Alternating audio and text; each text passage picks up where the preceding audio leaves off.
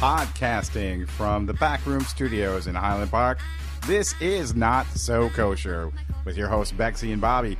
On the program tonight, we have author Christopher Noxon. He'll be appearing at the JCC Thursday, January 21st, as part of the Twin Cities Jewish Humor Fest. Now, speaking of humor, my partner, the potty mouth, Bexy, everybody. Cello, cello, cello. Is that the clapping I hear back there? I have the clap. There. Oh, oh do you? I'm so Can't talk sorry. about it. It's. Clappy, clappy. Personal. Oh God. Do, if I if you if I clap on you, then do you like make the lights go on? I was just gonna say that. I knew I could knew. See, we've been around together. something goes something goes limp.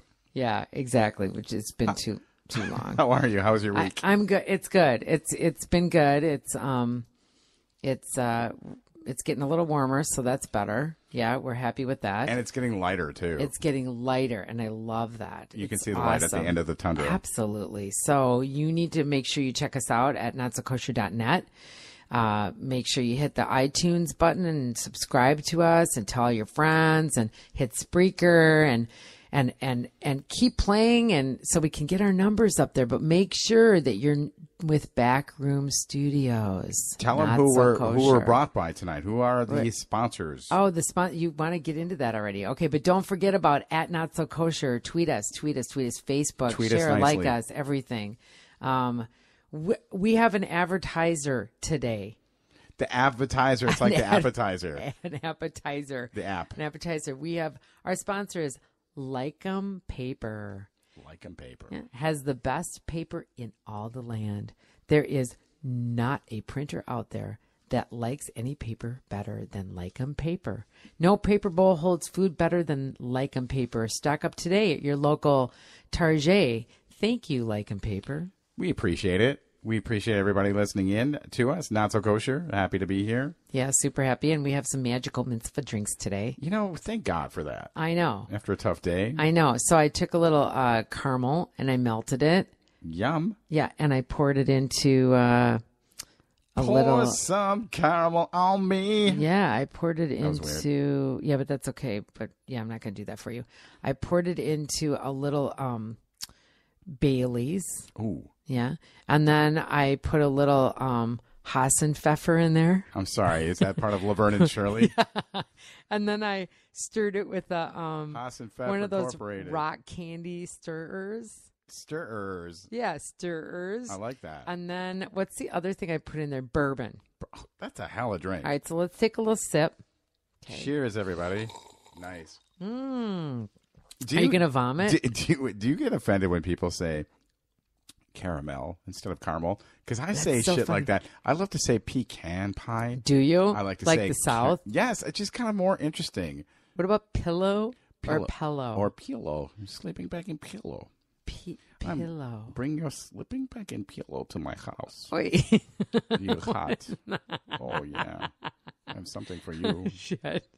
Okay, so I had lunch with an old friend today. Tell us about your old It was friend. very nice. It was uh it was uh um you know people you don't see in a long time don't really remember much about them and haven't you know it's like you remember when you were a kid Mm-hmm. and that's what you remember about them. So like she's now a grown woman and she's beautiful, but when she was younger she was this cute little curly haired girl and she was pretty quiet, which I think she kind of is now pretty much.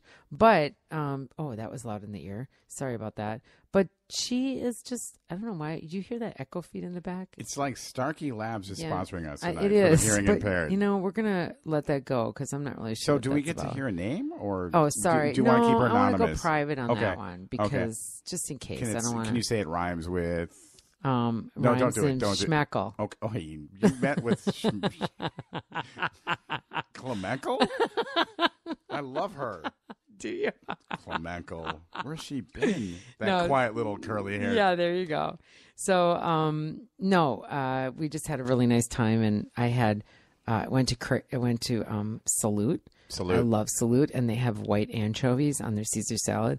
And white anchovies are very hard to get. Do you know that? Yes. So I have to go to Cossetta's Mm-hmm. um, to buy jars of them. Interesting. And unfortunately, I'd sent Big Daddy last time because he was going there to eat, and I said, "Hey, pick me up a couple of those jars," forgetting that they're almost twelve dollars for a jar that's Wow. you know I'm showing Bobby about a jar that's maybe about It's about the size two of something you're tall. showing me. Yeah, yeah, it's about the size, the That's length of my index finger, Okay. and it's like twelve bucks. That's a lot. But they are unbelievable, and I make them last quite a long time. I eat them slowly and slurp them, and very they're nice. so good. And Love I had- by the way. love Cossetta's.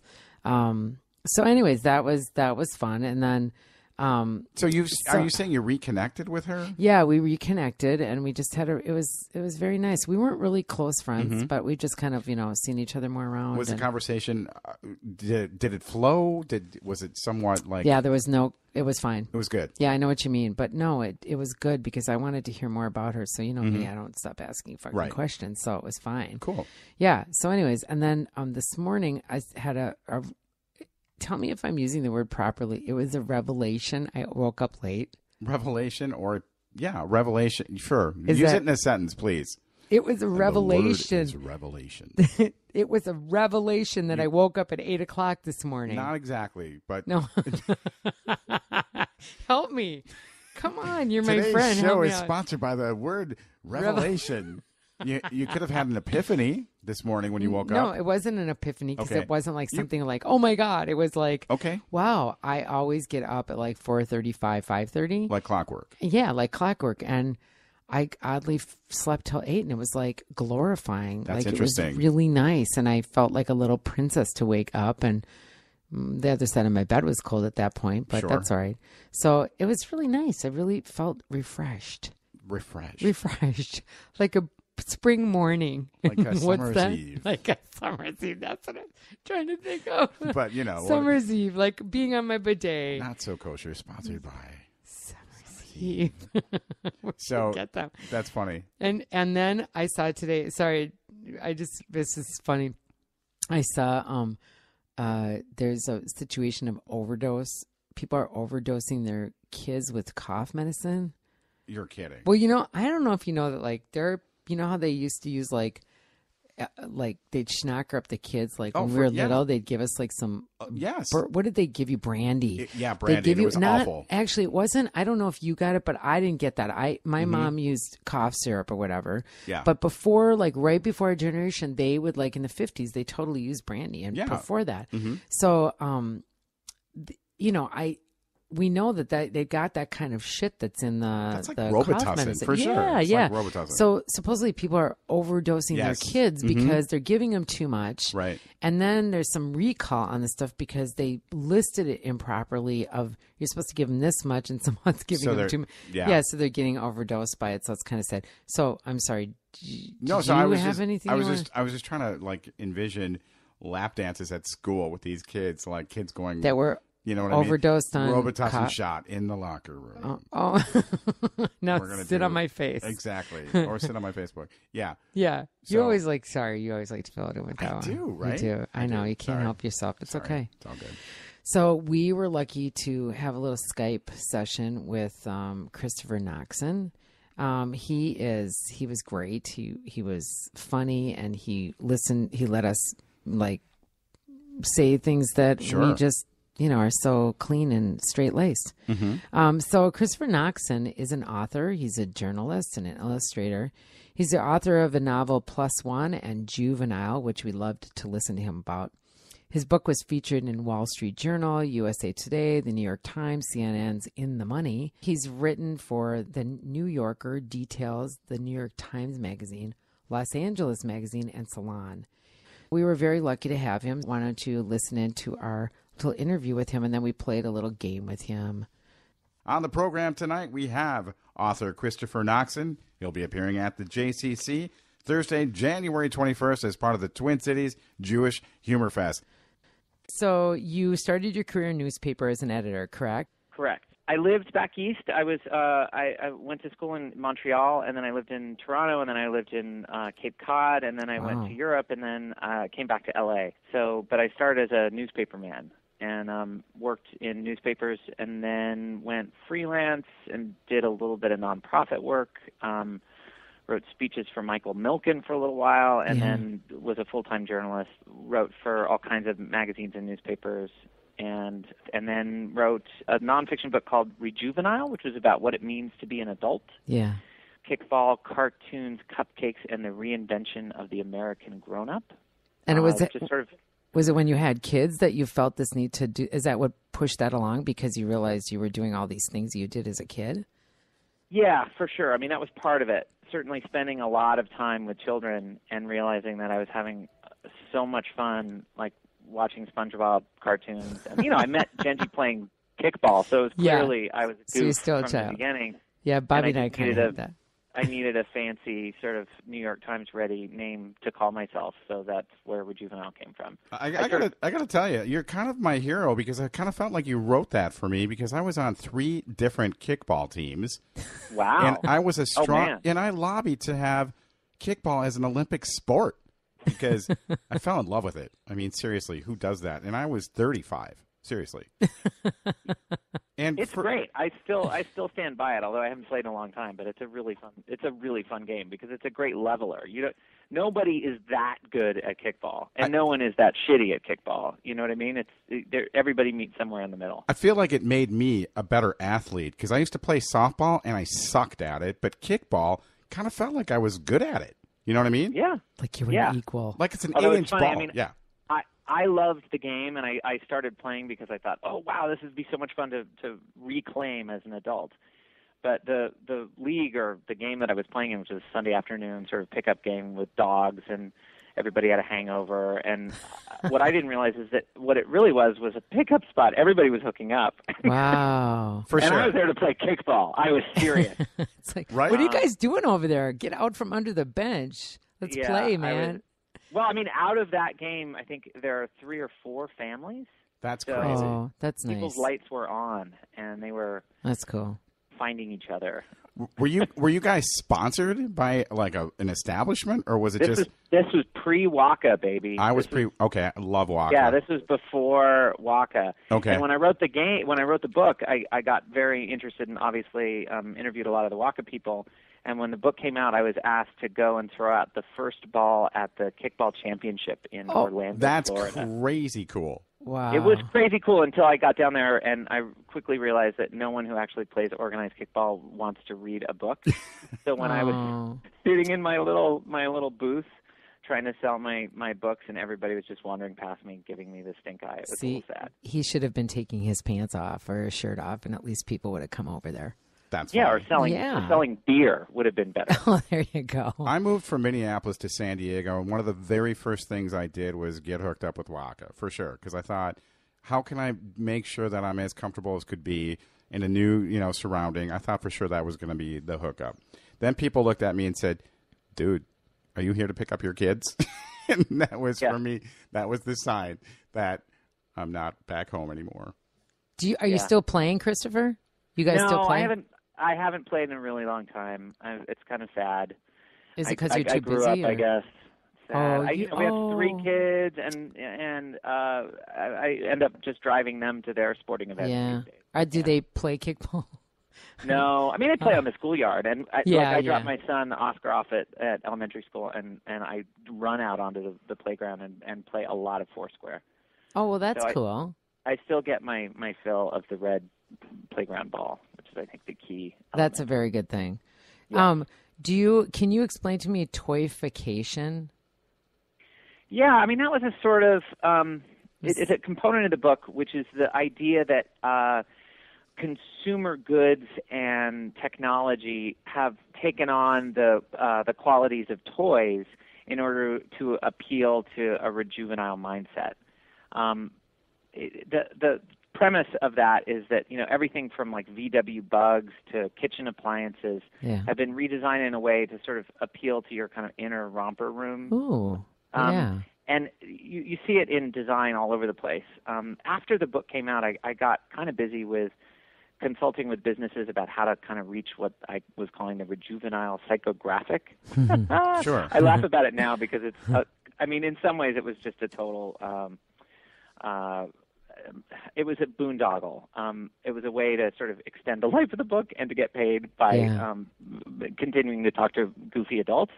Um, but I do think it, it's grounded in a genuine uh, human condition, which is that uh, grown-ups my age and uh, older and even younger, but at this time don't want to give up the things that they've always really loved, and they've brought a lot of that kind of childlike uh, spirit into mature realms that have never really had that um, that that influence before. Yeah. So you get things like um, you know spatulas with little rubber duckies at the end, and um, trying to think of. I mean, you know, you look at the dashboard of a car now, and Yeah. it's like designed to look like the Millennium Falcon. Yeah. Whereas before, or you know, even cell phones. I remember when Yeah, cell phones came cell out, they were these ideas that they were like tools of responsibility.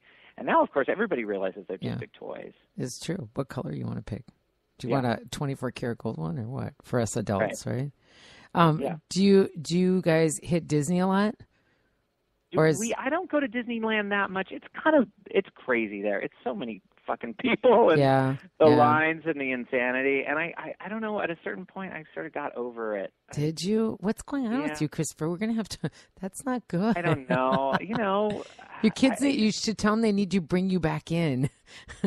Something's maybe I don't know. I, like my kids are a little older, and Yeah. I got I got I wrote this novel which is about um, men and women, and I got very interested in gender, and uh, I recently converted to Judaism, so now I'm really interested in Judaism. So I sort of feel like I've moved on from the the question of age norms, right? Like what's appropriate for what ages. Yeah. I love how you describe yourself as the unchosen, or could you tell us a little more about that? It just cracks me up. It's funny. And talk about the conversion, if you will. Oof. Um, well, I've been playing in the in the Jewish world for a long time. My my wife is Jewish. My kids. One one of the deals that we had when they when we got married was that we would raise them Jewishly, and that felt. Even though I didn't want to convert, I took the conversion class, um, and I realized it really wasn't for me at that time.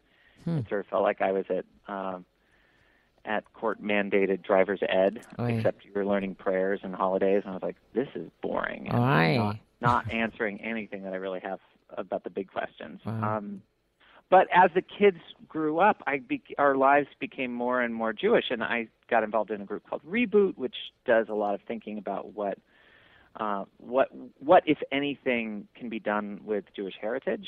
And I found I like talking about Jewish identity a lot more than my wife, who's Jewish, is. Oh, interesting. And I got very interested in the idea of not being Jewish but doing Jewish Yeah. um, sort of trying to unearth the kind of uh, deep intentions of practice and living those out. And so we were sort of unplugging on Fridays and going to temple. And I got I founded something called the Eastside Jews, which is a non-denominational, like upstart, non unaffiliated, creative ritual making group with Jill Soloway, who does Transparent, and some others are creative East Side LA people who wanted to have a Jewish life but didn't want to go to a shul and get the get the approval of a of a terrible boring rabbi to do it. Yeah. Um, So you, so yes. yeah, so all that, all at at the same time, I really didn't want to. Uh, one of the one of the requirements. There are three requirements of conversion. I don't know if you know this. You know, you have to. Uh, we haven't gone through it. We are actually born this way. Yeah, so explain it to us for sure. it's fascinating. Um, the three major requirements, and this is, you know, uh, Reform, Orthodox, Reconstructionist. They all have this basic uh, requirement, and and the mikvah is one of them. You gotta you gotta dunk. Yeah. Uh, you have to be approved by a bet din, which is this panel of rabbis. Hmm. Usually it's three, and for men it's circumcision. Now that applies to even men who have been circumcised, and What? uh, Really? I not that you asked, but I'm taken care of in that Wow. department. Well, wouldn't But that be they- double? Wouldn't that be double Yep. jeopardy if you already had that sort of Exactly right. No, there's no double jeopardy. They still want your blood, unbelievable? Wow. Jeez. and I thought that Jews. was crazy. I I cut my crazy. wrist instead. Take some Yeah. from my wrist. No, they want it from the member. They Wow. have very specific From the member, members Yeah. only. Yep. Yeah. I love So it. that really held me up for a long time. I was like, any club that makes that a part of the initiation rite, I do not want to be a part of. Interesting. So, as part of our show, Not So Kosher, Beck and I open our weekly show with a uh, a bit called Kvetch and Kvell. Are you familiar with those words? Yes, of course. So, is there anything you would like to kvell about for your, you know, this is your first time on our show? What's what's happening in your world? Talk about some kvetching, some kvelling for our listeners. Oh, what do I want to kvell about? I would love to kvell. I, you know, I love my kids. I've got kids, three kids. crazy, beautiful kids. Is that? It's so horrible and corny. For No, it's. No. actually very nice. It's the first thing I thought of actually when he asked that But question. you know, I've got a I've got a 16 year old who is a high school uh, junior and recently took the SATs and just got his driver's permit and he just went on his first date and Oh. you know we live in the same neighborhood that I lived in when I was a kid and I'm just sort of reliving a lot of the stuff that I did as a It's really cool. through him. it's, it's and he's nice. just delicious and smart and funny and weird and and awkward and amazing and I just adore him. And then I have this uh 14 year old girl who's a ukulele player and a singer and a drama person and a debater and she's lively and hilarious and funny and weird and uh, uh, totally different from my eldest son. And then I have a little jock kid named Oscar who's Love that. a baseball uh, fanatic. And I was a baseball kid when I was little, and so that's been really fun. I'm carting him around. He's on two different teams, and wow. he knows. I think I don't know that he's going to be a pro player, but he may actually be a GM someday because he knows all the trades and he sits around watching Sports Center all day, and it's you know with his hand on his dick. It's really weird. It's- We've got this, like we've got a normal kid in this house of freaks. I Um, love it. So I kvell over my kids all the time. That's And- perfect. And it's so nice to go to those games and watch them. I'm sure you love that. And Yeah. watch and listen to the ukulele and I would imagine, like growing up, your kids growing up, they had to realize at some point their parents weren't quite like the Johnsons, right? like, when did they start getting it and you know realizing both parents are sort of geniuses? Uh, I don't know about that. I mean, I I do. I I I think that you you as a kid think that everything that's in your life is fairly normal. Mm-hmm. You know, my daughter who plays the ukulele, we went camping a couple years ago, and she went off into the woods and and wrote a song and then played it for all the other people that were on the camping trip. oh, And you know, we hang out with a lot of friends who are in show business and do, do media stuff and co- comedians and, and musicians and stuff. And so one of the women that was there was like, "Oh my God, that was fantastic! Can you open for me at my next show?" Oh, at- that's great. At Jeez. UCB. So Wow. Eliza went and played at this at UCB, and then another friend was like, ah, "We should get her into the recording studio and put that down." So we Mm-hmm. went and recorded the song, and then the next thing you know, Jenji uses the song on the the first episode of the last season of Orange is the New Black, oh wow. and Nice. the song that this 14 year old girl wrote when she went off into the woods is now like charting, or it I did for it. like Okay, that's- a millisecond. So yeah, and and I was like, do you have any idea how crazy that is? and is she free labor? Or is she yeah, like get totally to- free. Yeah, God. But she doesn't Something's have any idea. She's like, yeah, of course I wrote a song, and of course it's on a TV show, and of, Of course, course. it's available on Spotify right now. Like, no. oh my no. gosh, that is so great. I love But it. what's but what, I mean to to her credit, when when I mean we, we I got a couple of calls of people saying, do you do, would you like to to re- to record a full record? Like talk to us about that. And I went to her and said, you know, do you want a record deal, honey? Jeez. and That's she amazing. said, she said, no, I want to do debate. I really not. Oh my gosh, I love that. Not Good for her. Not interested. Wow. I was like, are you crazy, honey? People work their whole lives to try to get this opportunity. exactly. Like, and you're like, no, mm, I don't know. I'm sorry. no, I'd rather. I want to do debate. I want to Wow. do debate. That's Yeah, great. there's a there's a tournament coming up. I'm really excited about. Good. So That's cool. You know, we talked about Rejuvenile for a little bit. Can you tell us a little about Plus One? I love that. I read excerpts today and I was laughing out loud for sure. Oh, nice. Um, it's a novel, but it's based on my experience. Um, I had been after the last book came out. I um, sort of had a, a little bit of a uh, midlife crisis. I wasn't quite sure what I did anymore. I was spending a lot more time with the kids. I sort of became a much more of a, a householder and a caretaker. And Little Jenji's show had really taken off. A little postpartum. Yeah. Maybe for you. um, and I I um, wasn't writing much. I was just sort of like carting the kids around and taking care of the house, and um, I got a little agitated and I got a little like unpredictable. I was doing things like peeling out in the minivan. oh, In the minivan. You're super dangerous. I went to like a laser tag birthday party where Okay. I mowed down all the children. Love it. um, I just these weird outbursts of aggression, and uh, and so I basically realized that I had stumbled into my next story, which was about guys learning to kind of come to grips with uh, being householders. Cool.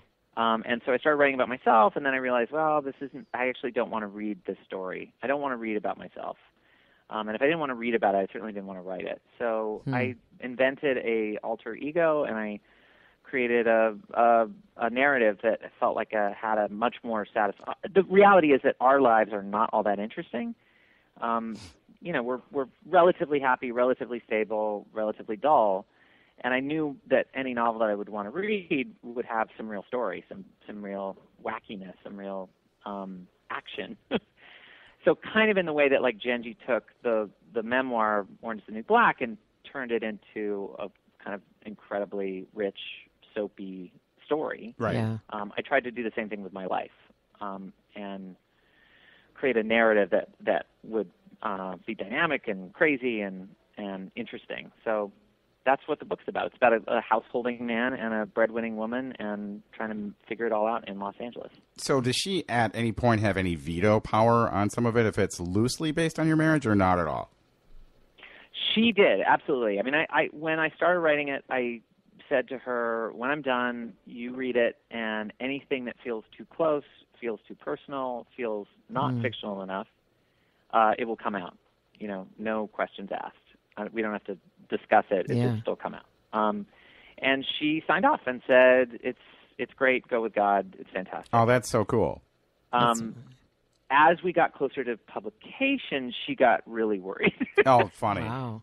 Yeah, there was a little bit. I mean, there was some concern that people, even though it is very fictional and nothing really in the book happened in real life as it's described, hmm um, she worries that people who read it will assume that it's all true and that. Yeah, Um, even yeah. though I'm saying it's fiction, people will say, "Oh, well, he had an affair, and she's a real cunt sometimes." You know, like Yeah. these are these are flawed characters who are flawed in some of the ways that Jenji and I are flawed, and some ways that we're not. And she just thought people will think it's an expose, and um, Interesting. you know that's valid. yeah. Uh, on the other hand, I sort of feel like, well, then you know, I then who cares? Um, I, I all I can say is it's it's it. I hope it feels true. Do you know what I mean? yeah. Sure. Yeah. when people read it, I hope that they think that I'm really telling all the truth. And there are elements that are true, but I, I swear to God, most of it's made up. We'll have to remember that because that's my next read. So I had, a, I had a question follow following up on when you have a, a book released, like any musician or band, they go on tour to support the work that they do. Do you hit the road to promote a book? Yeah, I've done. I've, I've spent the last year uh, traveling around a little bit. Um, I've I've been to. Uh, yeah, I mean, my, I I had a, a fairly small press. I had interest from a, a, a big publisher, but they um, th- that didn't we didn't really come to grips, and so I went with a, a relatively small press that doesn't have a giant promotional budget, so they don't send me out. Okay. So just like musicians who are trying to figure out how to sell their records, you sort of have to figure that out yourself. Right. So, but I've been to St. Louis and Cleveland and Orlando and New York, and um, I'll, I'll go wherever anybody will have me. Is it is it difficult being away from home, or do you enjoy that process and getting out and meeting the people that are reading you, or how does that work for you? It's hard. It's hard. Um, you know, we we do have help. Um, both our families are here. Um, Jenji works like a madwoman, um, and so it's tough. When I'm when I'm away, it's a lot harder to to fill all those gaps. But we make it work. You know, like any family, you just kind of improvise. Um, Christopher, and- are you are you writing in any papers or magazines right now? I'm not. I'm teaching a little bit, and Oh, I'm okay. working on a. I'm working on my next uh, bookie project, which is a um, illustrated memoir about the conversion. Oh, Um, I'm trying to draw this one, and uh, it's called Prick I love that. for obvious reasons. awesome. Oh my God! So, that's how do you find time to do all this when you're? I mean, I only had two kids, and I was a s- basically a domestic engineer that also worked out of the house. I had a I have a business outside right in my home. I I could barely get anything else done. How do you with three and you're running them all over the place, which I understand, but how do you do it? And then yeah, I mean, right, I sort of I feel like I have a, a four a three or four hour window after drop off before the real domestic crunch begins. So like Okay. I I just think about like I'm a drop off to pick up writer. I mean some of my favorite writers are people who who have uh, crazy family lives that they work their writing into, and I feel like that in some ways it gives you focus Cool. because if you don't and I've talked to other writers who are like you know who don't have those kind of responsibilities who it, it's all kind of uh, they're always on deadline, right? Yeah, I'm, yeah, yeah. I'm only on deadline like for three or four hours a day, so I can beat myself up for those three or four Yeah. hours, or I can try to write something. cool. Very cool. And the rest of the day, I'm just you know looking after everybody else. Hey, we're gonna we're gonna air this prior to you uh, coming into town. I just want to kind of plug that, uh, let people know that you're going to be appearing at the St. Paul JCC. That's going to take place on Thursday, January 21st at 7:30. Uh, coincides with the Twin Cities Jewish Humor Festival. Do you do a lot of this kind of stuff? And and what are you gonna, and what are you going to talk about when you're here? Um, I am going to talk about uh, the book and about uh, a lot of what we've been talking about here, but in in more depth and hopefully a little uh, with a little more humor. Um, I have a little dog and pony show that I've that I've been taking on the road, you know, and it's it's it's a it's about I will tell the full story of the conversion, which is just crazy I'm sure. I'm um, excited. And my mohel Dr. Andy, and uh, it's just nuts. Um, and then I talk about uh, uh, a lot of the issues that sort of led me to write the book and why I I think the the, the question of male householding and female breadwinning is one that we really haven't reckoned with uh, as a culture. And I, I think that there are particular challenges for, for men who are in this position. Sure. Um, it's, and men are not doing it very well. Do you, Um, Real- I, what do you- when you I have not done it very well, and I've kind of stumbled through that. And Why do you I- say that? Hopefully, I, why, do you, hopefully, I think I have some some lessons uh, around that. why do you why do you not feel you've done it well? You sound like a fucking woman. I I sound like a woman. Yeah, we always think we didn't do it well. Oh my god, I didn't raise them right. They're fucked up. Yeah, or or I'm doing something wrong. Why do you say I don't that, know. I, Christopher? I, I, look, I think guys, there, there are, and I was raised by feminists. My mom's a lesbian. I, I love women. I'm about as, and, and, and you know, my, my wife is an incredibly powerful, dynamic woman. Um, but in the end, and I wish that it, it could be just as easy as the, the guys take care of the, the family and the home, and the woman goes and, and works, and everybody's happy. yeah. Um, I, unfortunately, I don't think it, that has not been the case for me, um, Okay. and I don't think it's the case for most guys. I think guys have to sort of buck up against some really deep evolutionary sludge and work that stuff out because we don't. I I'm deeply embarrassed What? that that the um, that the burden of responsibility for uh, providing for our family doesn't uh, fall to me. really? Yeah, it's really weird. And, see, I know it does. I feel that way. I feel that way. Do you? Yeah, because when I got married, I was a breadwinner. Then slowly it kind of turned around where he became the breadwinner. And since it's probably been 20 years and I, I'm in an uncomfortable situation for me. See, it must just be a human thing for some of us that, you know, we just Yeah. feel like we, if we're, we're no good because we're not making, we're not bringing enough bacon in, you know?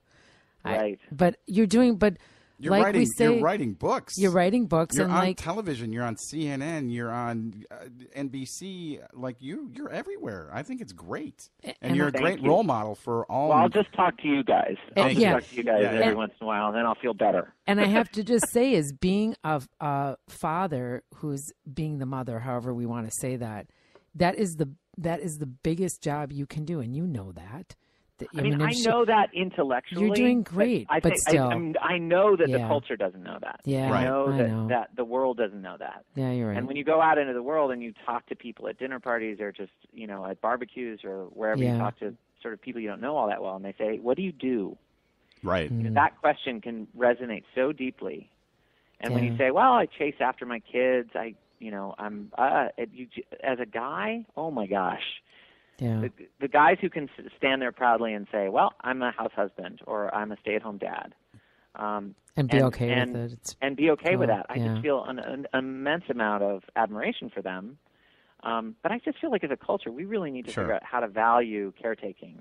Are there? Uh, do you find when you like when the kids are younger and you go to playgrounds or you go to games or whatever or, or concerts where you know your wife isn't available to be with you because it's during the day? Do you are you pretty much the only daddy? I mean, are there more that? No, there are there guys. few? There are guys. Good, but it's still it's it's still a minority, obviously. Yeah, Sure. Yeah. Um, but there's it's increasingly, and especially in LA. Like I have friends who are in a similar position, whose wives are Mhm. are you know out there kicking ass, and um, and it's it's. It, But I think guys who do it, uh, you know, so much more. They're on their phone. They're very few of them are like, yeah, I'm looking after the family. Most Hmm. of them are like, I'm a photographer. I'm a like me. I'm a I'm an illustrator. I'm a producer. I'm a podcaster. Whatever. Right. They they have to have that sort of um, identity marker so that they can they can feel like okay. Yeah, I get it. um, and that's you know, look, I, I I feel in a lot of ways like what men are going through and experiencing now is very similar in a lot of ways to what women were reckoning with. I think in like I would say like 1978, like the dawn of of first wave of like maybe mid middle of of the big feminist first wave yeah. um, really figuring our place out in in home and in career. Yeah. And you know, I look back at those. Hi, uh, my my son has just come over. Hello. Right. Hello. Hello. I, I just had my train of thought uh, totally um, screwed with by my 16 year old. That's son. okay. But the idea is that like I think we have much to learn from uh, feminists of For the sure. of the of the 70s who sort of had to figure out what their place was at home and at, in their careers. Uh, aside from having three kids with Jenji, have you guys ever talked about another type of collaboration? Have you guys ever thought about working on a project together? We have not. I think um, she does. You know, she's a television writer Yeah. and hasn't done anything else. I wrote a pilot based on the book that was uh, optioned by ABC and um, got onto the final pile, but was not was not picked up. Sure. which is totally typical. She wrote twelve before they made one. Yeah. um, and I didn't expect much else out of it. But but that was my first foray into television, and so and I don't know if I want to play more in that world. Mhm. Um, so unless I did, uh, she's not going to be doing the kind of work that I do, and I'm not, probably not going to be doing the kind of work that she does. So yeah, and I think that's fine. That's fine. We got we we collaborated on our children. There, you, There go. you go. There you go. Exactly. Yeah. I had a I had a pilot idea for you and I to work on. Orange is Okay. the, Orange is the new Men in Black. I kind of want to see if. ah, that's funny. Thank you. I'll be here all week. So, so we like to play a game with our guests sometimes if they're willing to play it, and we came up with a really good game for you this this show. Um, We'll see about know, that. Yeah, we'll see about that. So our game is called Shomer Prison.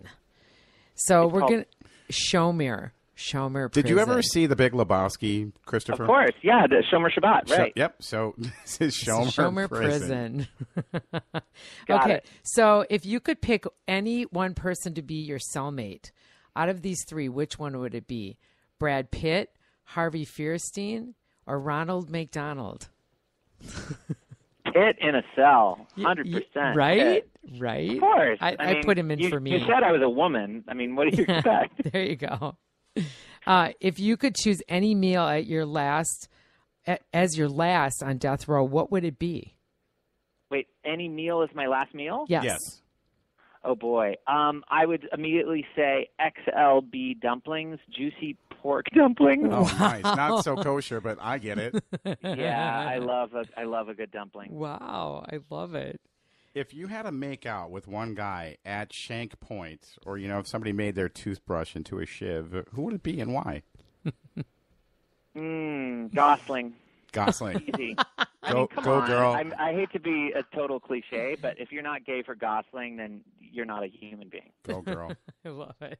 If you could choose two visitors in the next six months, who would they be? Two visitors, Yes. alive or dead? Does it matter? No. Visitors. Um, uh, Heschel. I think we could have a really good conversation. Excellent. I'd love to, to, to break bread with that dude. Excellent choice. Uh, or dead? Um, and because I'm feeling so Jewy these days, I'm going to say Herod. I have a lot. I, I got really. I was just in. I was just in Israel, and I got oh. really fascinated by this guy who intersects in all these incredible stories. That's And cool. So yeah, That is I'm, really I'm, I'm going to go full on Jew and say I like it. Herod I and love Asheville. that.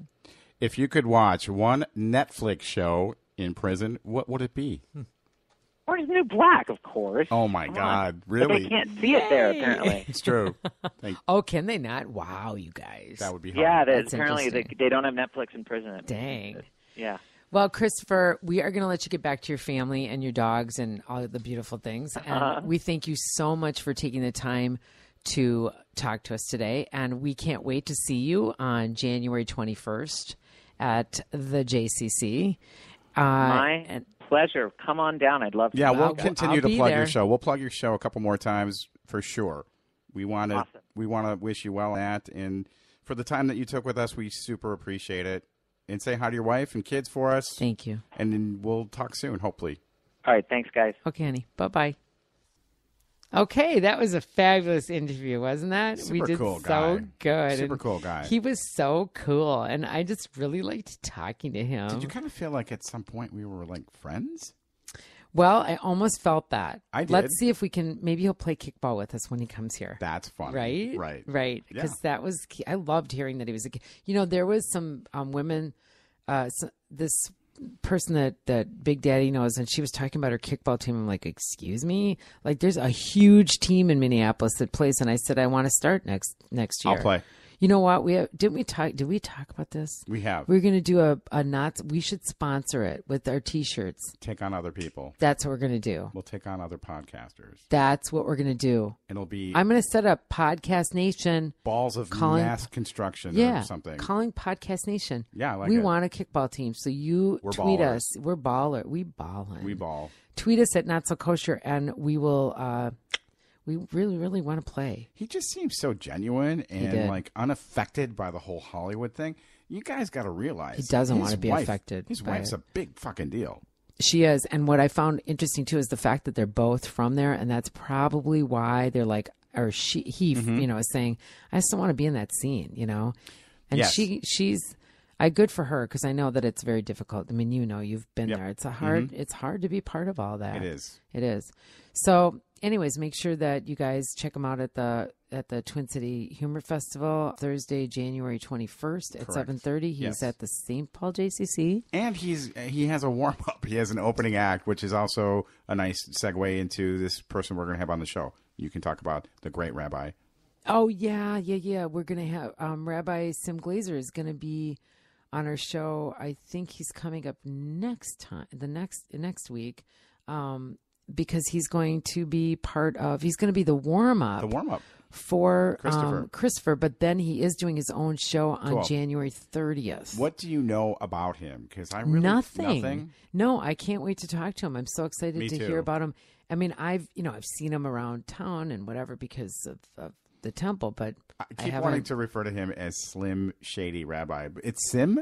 Is yeah, Rabbi you're very Sim? funny, but because he's slim, that's want- really it's funny. kinda I saw him at a shiva last night. Oh, well, that's he led so that funny. shiva last night Okay. for my wonderful cousin Joyce Hartman. I'm sorry. Yeah, it was. It's My all right. condolences. So we want to make sure that you don't forget to get your tickets for our show, Not So Kosher, live podcast taping at the St. Paul JCC for the Twin City Jewish Humor Festival Tuesday, January 26th at 7:30. We are the biggest thing to hit the podcasting in the Twin Cities universe.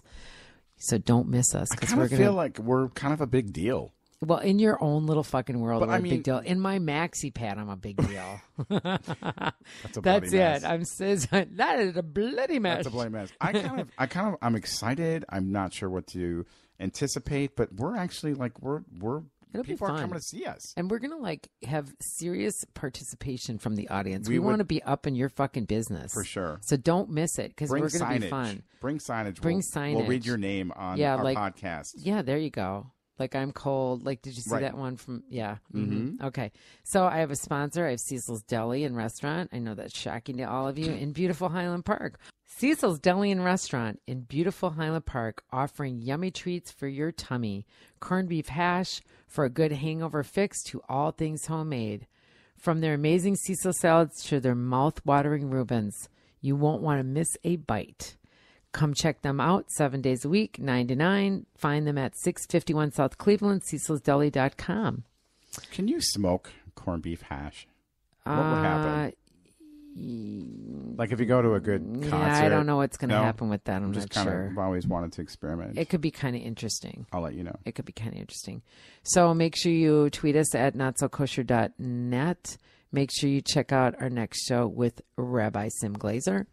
Uh, ch- check us out on Facebook. Uh, can't donate to us, yes, but you know we're gonna be all Jewy and make you donate to us. Like Please us, do. share us.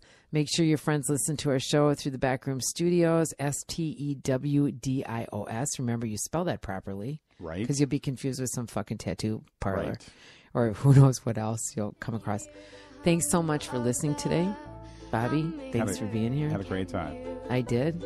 Be well, my universe. Carrying leaves that it Can you cry for your mother and your father too.